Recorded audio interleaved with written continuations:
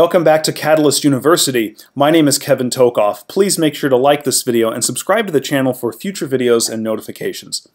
It's no secret that the smoking of cigarettes causes lung cancer, and it can actually cause some other forms of cancer as well, although lung cancer is going to be the most common uh, for individuals who smoke or who are significantly exposed to secondhand smoke.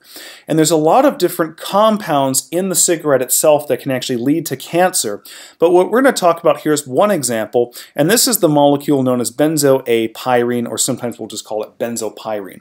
So benzopyrene is what we call it's a polycyclic aromatic hydrocarbon. Polycyclic aromatic hydrocarbon. Again, the reason it's called that is obviously a hydrocarbon because it contains nothing but carbon and hydrogen. It's aromatic, but there's many connected aromatic rings, so it's polycyclic. Okay, and there's also other examples of polycyclic aromatic hydrocarbons that can be found in all sorts of things like cigarettes or even car exhaust, things like that. So when you smoke this, uh, smoke a cigarette that is, you're going to be inhaling a compound such as this. This is the best example. So this compound is going to end up in your body, but this in and of itself does not cause cancer. Okay? It's actually a metabolic product of it that actually will. Now, what we hopefully know by now is that the liver and also the nasal mucosa, which there's going to be a lot of that cigarette smoke in the nasal mucosa, those areas of the body have a really high concentration of smooth ER in their cells. And we know that the smooth ER has a lot of uh, xenobiotic and drug detoxification enzymes, such as cytochrome P450s right here, and also epoxide hydrolases. And it turns out that those enzymes are going to be responsible ultimately for generating the active form of benzopyrene that's going to be able to mutate DNA and potentially cause cancer. So benzopyrene, when it ends up in an area of drug detoxification, such as the nasal mucosa or the liver when it gets into the blood, um, ultimately what's going to happen is one of these P450 enzymes, such as CYP1A1 or CYP1B1, is going to perform an epoxidation reaction. And it's actually known where this occurs. It actually occurs down here on this carbon-carbon double bond, at least it's a double bond shown right here, and what we get is actually an epoxide formation. Now, epoxides are very unstable, they're very high energy and prone to reacting with things, but this epoxide generally does not react with the DNA. It's actually going to be hydrolyzed by this enzyme, which is another another uh, smooth ER enzyme, another microsomal enzyme, and it's called epoxide hydrolase. What epoxide hydrolase does is it uses water, thus the hydrolase in the name, and it breaks apart this epoxide. So if you notice over here, the product of this reaction, uh, the red oxygen um, actually goes to position 8 right here as a hydroxyl group, and then the water, the, at least the effective hydroxide, uh, gets positioned on carbon number 7, and now we have a diol. A diol is just a compound that actually has two hydroxyl groups. Um, generally, they're going to be positioned right next to each other on uh, adjacent carbon atoms. Okay? Now, what happens from here? It gets epoxidated again. Okay, um, This is again catalyzed by the same potential two P450 enzymes up here, CYP1A1 and CYP1B1. Notice this time that the epoxide goes up here on this position between 9 and 10. You see the epoxide form right here. Now, uh, basically, because of these hydroxyl groups right here, uh, it makes it less likely that this epoxide will actually react with epoxide hydrolase because epoxide hydrolase is generally much better at targeting hydrophobic molecules. Now, it is true the left side of this molecule is still very hydrophobic, but in the place where the epoxide is, there's two polar hydroxyl groups which ultimately are going to prevent or at least hinder binding to epoxide hydrolase. So this epoxide is just going to stay there and react with something. Now this molecule is small relatively speaking, so it can actually diffuse through the nuclear membrane into the nucleus. And obviously there's DNA in the nucleus. Here's a guanine residue of our DNA. Okay, could be any guanine. Um, it just depends on which guanine is exposed, and there's going to be a lot exposed at any given time.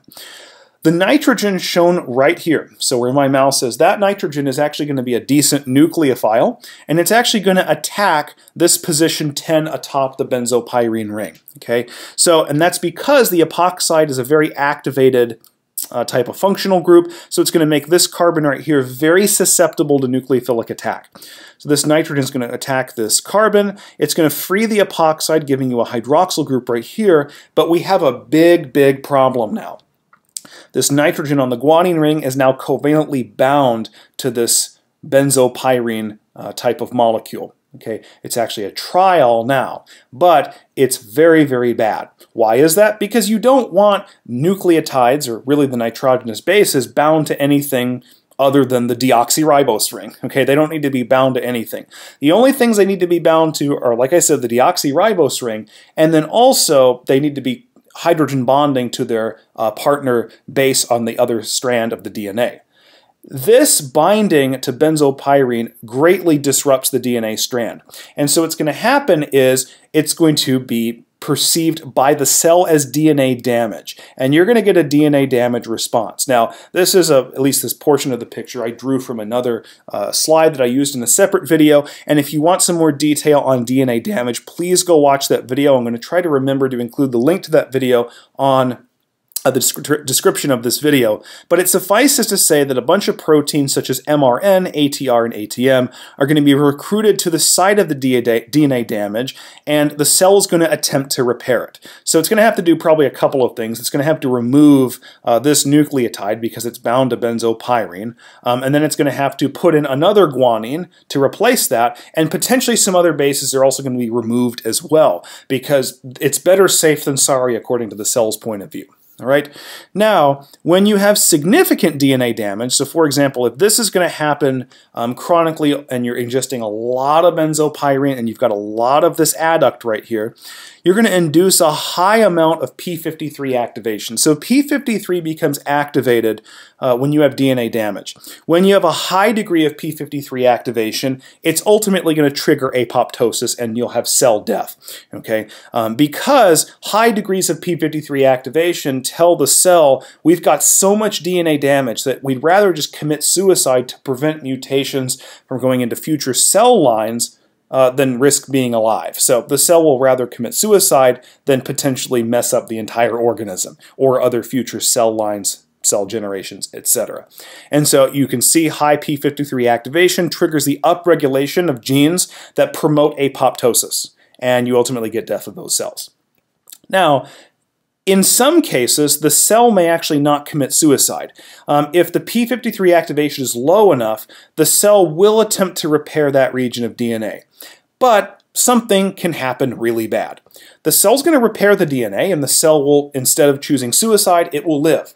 But in the repair process, it accidentally adds a base that wasn't supposed to be there. So let's just say, for example, this guanine formed the adduct and that guanine was removed. Well, what if instead of a guanine, it added back an adenine?